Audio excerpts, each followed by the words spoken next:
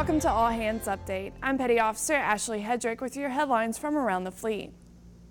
The Defense Commissary Agency is launching a new program to help shoppers save even more on their grocery purchases. The Commissary Rewards Card allows shoppers to redeem coupons digitally at checkout in stores worldwide. For more information and to register, visit commissaries.com/rewards. The Office of Naval Research has completed the final demonstration of a shipboard launch and recovery system for the ScanEagle unmanned aerial vehicle.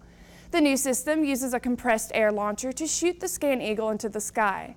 The system is compact and can be folded up like a folding chair or table for storage once the mission is complete. You can read more about these stories at Navy.mil. From All Hands Update, thanks for watching.